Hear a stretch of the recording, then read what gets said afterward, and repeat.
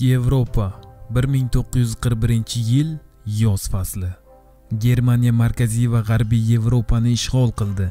Birgina buyuk britaniya oroli unga mag'lub bo'lmadi. Yevropada germaniya uchun salohiyatli xavf uni rasmiy ittifoqi sssr qolgandi. Buyuk britaniyadan qo'li balandroq bo'lishi va o'zini strategik holatini yengilmas qilish uchun gitler raqib armiyasini mag'lub etib uni tabiiy madanlarga egalik qilishni maqsad qildi. Germaniyaning rejasiga ko'ra sovet ittifoqidagi yevropa hududining ko'p qismini 1941 yilning qish fasligacha ishg'ol qilish edi. Hujum asosiy chizig'i markazdan borishi kerak va bu guruh harbiylar moskvaga yo'naltirilgandilar. Qo'shimcha chiziqlar esa harakatini shimol va janubdan amalga oshirishlari kerak edi. 1941 yil iyun oyining o'rtalarida germaniyaliklar tayyorgarliklarini ko'rib bo'lib hujumga shaylandilar. Xuddi shu vaqtda sovet kuchlari ittifoqi tomonidan bosqinchilik bo'lishini bilmasdi va ularga qarshilik qilishga tayyor ham emasdi. Oldin janubiy sektorga nazar solsak pripit va qora dengiz o'rtasidagi botqoqzor chegarasida sovet ittifoqining eng quvvatli harbiy bo'linmalari joylashgan edi.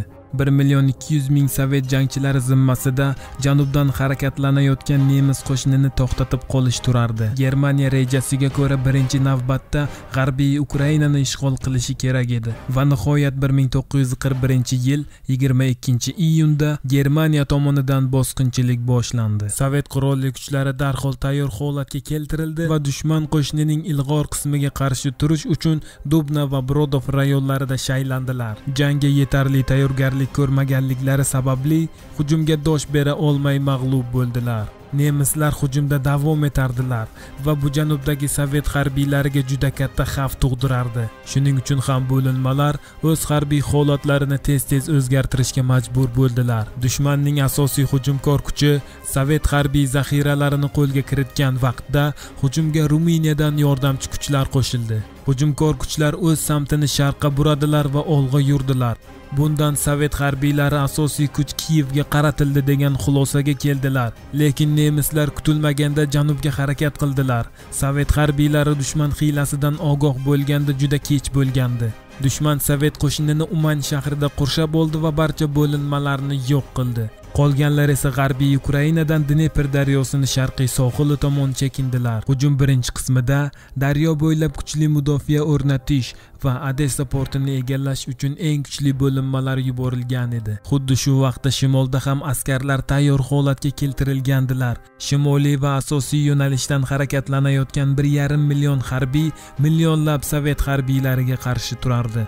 Hujum boshida rejalashtirilganidek nemis asosiy guruhi chegarada shaylanib turgan sovet kuchlarini qurshab olishi va smolensk so'ngra moskva tomon harakatlanishi kerak edi. Bu vaqtda shimoliy guruh to'g'ri leningrad tomon harakatlanib dengiz va shahar orasidagi bo'linmalarni tuzoqqa haydashi kerak edi. 22 iyunda nemislar hujumga o'tdilar. Sovet sharqiy flotlari oldinroq kelgani sababli juda ko'p bo'linmalarni birinchi kundayoq belastok va minsk shahrida qurshab oldilar. Pribaltikada ya'ni rezekne shahrida sovet qarshi hujumi mag'lubiyatga uchradi. So'ngra ortga qaytib g'arbiy dvena daryosi bo'ylab mudofaa o'rnatmoqchi bo'ldilar. Lekin nemislar tezda yetib borib sovet mudofaasini yorib o'tdilar va sovet qo'shiniga xavf tug'dirgancha olg'a yurishda davom etdilar. Bu vaqtda nemis asosiy qo'shini sharqqa harakatlanib borardi. Yo'lida uchragan sovet g'arbiy bo'linmalarini qurshab olib birin ketin yo'q qilardi. Dushman asosiy bo'linmasiga qarshi sovet kuchlari tomonidan yanada ko'proq askarlar yo'llandi lekin afsuski dushman zirhli mashinalari sovet mudofaasini yorib o'tib smolensk shahrida qurshab oldi. Xuddi shu vaqtda sovet ittifoqining harbiy taqsimotini birinchi qismi tugagandi. Tuzilgan bo'linmalardan aynan dushman hujumini qaytara oladigan va qurshovga tushgan bo'linmalarni ozod qilishi kerak bo'lganlari jalb qilingan edi. Lekin bu bo'linmalarni tayyorgarliklari kamlik qilgani sababli dushman qo'shinini qo'li baland keldi va qurshovga olingan bo'linmalar yakson son qilindi. Nemis harbiy qo'shini tuzilgan reja bo'yicha yurib keldi va sovet markaziy frontlarini yakson qildi. Ketma ket mag'lubiyatga uchragan va katta talofat ko'rgan sovet ittifoqi taslim bo'lmay tish tirnog'i bilan kurashishda davom etardi. Endi nemislarni oldida ikkita amalga oshish ehtimoliyati baland bo'lgan yo'l turardi. Birinchisi to'g'ri moskvaga yurishda davom etish ikkinchisi asosiy qo'shin qanotlarini xavfsizligini ta'minlagan holda sharqqa harakatlanish. Ular ikkinchi variantni tanladilar va zirhli mashinalarni qo'shni bo'linmalarga yordam berish uchun yubordilar. Shu vaqtda shimoldagi bo'linmalar ham shiddatli hujumlar qilardilar lekin ularga sovet qo'shini bas kela olgani va muhit noqulaylik tug'dirgani sababli ko'p qismlarni ishg'ol qila olmay rejadan ortda qolardilar. Shunday bo'lsada ishonch bilan sekin sekin olg'a borardilar. Chap qanotdagi bo'linma sovet harbiylarini tuzoqqa tushirib ular ustidan g'alaba qozondi. Qolgan bo'linma esa leningrad yaqiniga kelgan vaqtda asosiy qo'shindan yordam kuchlari yetib keldi va birgalikda shaharni qurshab olishib tashqi aloqalarini uzib qo'ydilar. Bu ham yetmay turgandek yanayam shimolroqda finlandiya fursatdan foydalanib 25 iyunda sovet ittifoqiga qarshi urush e'lon qildi. Finlandiyaliklar sovet ittifoqining mag'lubiyatidan foydalangan holda yo'qotilgan hududlarini qaytarib olishga tushdilar. Yanayam shimolroqda finlandiya va nemis harbiy bo'linmalari sovet port shahri murmanskni ishg'ol qilib kirovsk temir yo'lini ittifoqchilaridan yordam kelmasligi uchun kesib qo'ymoqchi bo'ldilar. Lekin bu maqsadini amalga oshirib ulgurmaslaridan ularni to'xtatib qolishga muvaffaq bo'ldilar. Bu uchun sovet harbiylariga muhitni noqulayligi juda ham qo'l keldi. Xuddi shu vaqtda asosiy harbiy qo'shin zirhli bo'linmalari janubdagi harbiy qo'shin bo'linmalariga yordam berishga yuborilgandi. Sovet jangchilari moskvaga hujum bo'lishini kutib himoya chiziqlariga katta ahamiyat qaratib turgan bir vaqtda dushmanni osongina janubga harakatlanishiga imkoniyat tug'ildi. Asosiy qo'shin zirhli jangchilari osongina sovet harbiylarini janub tomonga qarata surib ketdi. Dushmanni janubga harakati sovet qo'shinini pribitdagi mustahkam mudofaasini tashlab chekinishga majbur qildi. Ukrainada esa qo'shinlar mustahkam mudofaada turardilar. Qo'shin qanotlari dnepr daryosini g'arbi janubida va shimoliy botqoqliklarda joylashgan edi. Shunday bo'lsa-da asosiy qo'shin guruhi tanklari botqoqlikni sharq tomondan aynalib kelib sovet qo'shini hududiga chuqurroq kirishga muvaffaq bo'ldi. Sovet ittifoqida dushman qo'shini cho'zilgani sababli unga qarshilik qilsa bo'ladi degan xulosa paydo bo'lgan bir vaqtda janubdagi dushman qo'shini zirhli bo'linmasi sovet ittifoqi harbiylariga bildirmagan holda ko'prik yasab dnepr daryosini kechib o'tdi. Endi u shimoldan kelayotgan yetakchi qo'shinlar bilan birlashish maqsadida harakat qildi. Ikki tomondan kelgan qo'shin birlashganida sovet armiyasini katta miqdori ukraina markazida qurshab olindi. Qurshovda 750 ming odam qolib nobud bo'lganda sovet armiyasining ukrainadagi qismi jiddiy talofat ko'rib zaiflashdi. Natijada asosiy qo'shinni chap va o'ng qanoti xavfdan xoli bo'ldi. Lekin endi ularda reja bo'yicha maqsadlariga yetish uchun juda ham kam vaqt qolgandi. Ular rejalarini o'zgartirib o'zlariga yanada yaqinroq nishon qo'ydilar. Nishon sari front bo'ylab keng ko'lamda olg'a yurish qildilar.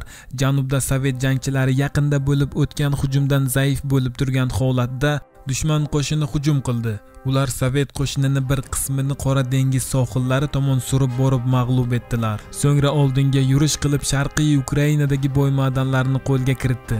Yana krim yarim orolni ham ishg'ol etganda sovet ittifoqi armiyasini joyini odessadan sevastopolga o'zgartirdi.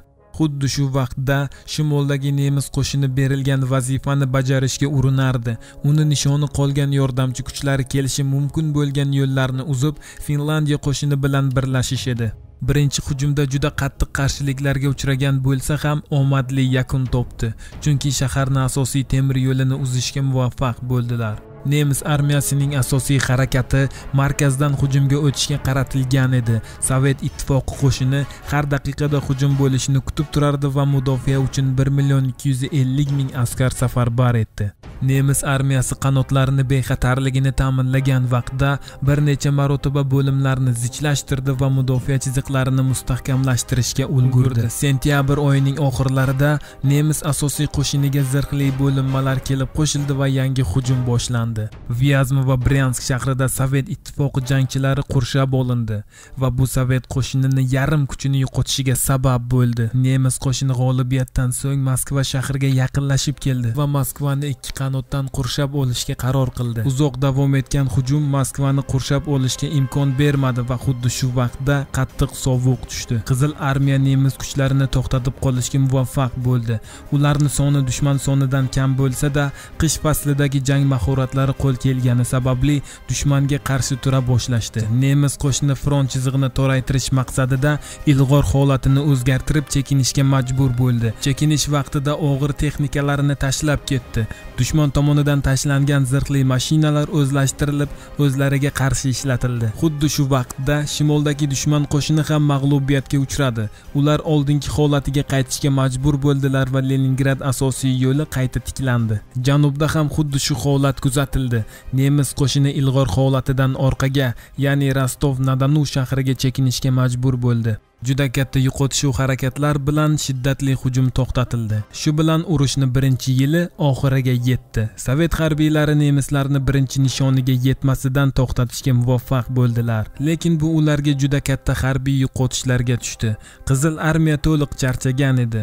Ular barqaror bo'lish uchun kamida bir yil yoki undan ham ko'proq kerak edi. Nemislar imkoniyatdan foydalangan holda qolgan harbiy kuchlarni barchasini kelgusi yilda hal qiluvchi hujum uyushtirish uchun sharqiy frontga yubordi. 1942 yil bu urushni hal qiluvchi yili bo'lishi kerak edi. Aziz tomoshabin ushbu video to'rt qismdan iborat. Qolganlari tayyorlanish jarayonida. Agar videomiz yoqqan bo'lsa keyingi qismlarni o'tkazib yubormaslik uchun kanalimizga obuna bo'ling. Tomosha uchun rahmat rahmat.